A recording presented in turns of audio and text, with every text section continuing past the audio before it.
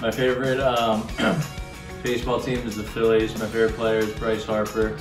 Uh, my favorite MLB team is the Mets, and my favorite player is Jacob DeGrom. Uh, my favorite team is the Red Sox. My favorite player is Trevor Story. My favorite MLB team is the Philadelphia Phillies, and my favorite player is Jim Thome. My favorite MLB team is the Mets, and my favorite player is Kevin Pillar. What is my favorite MLB team and player? I'm a diehard Yankees fan, and right now I'm a big DJ LeMahieu guy. That's my guy. Um,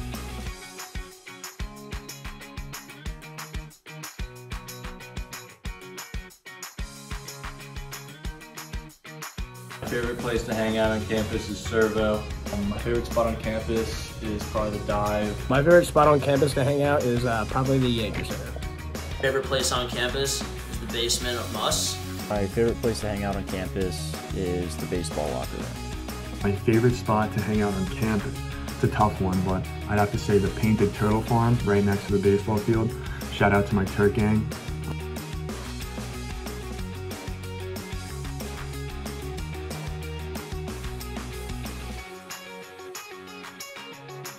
Something you don't know about me is I've never left the U.S.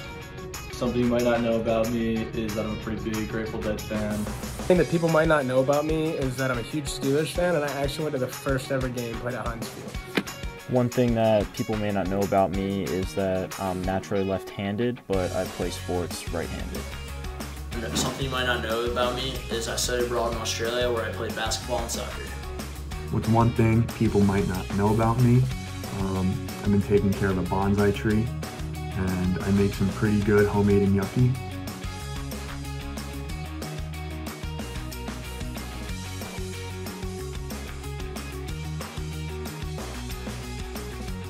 Uh, favorite Gettysburg baseball memory is when Sammy Sestito struck out three batters in a row in Florida. And my favorite memory playing baseball here is beating F&M sophomore year.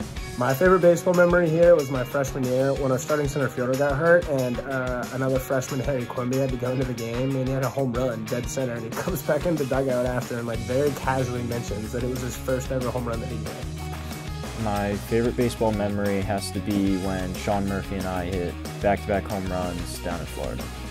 My favorite memory of Gettysburg baseball is recording my first collegiate hit against Haverford my freshman year.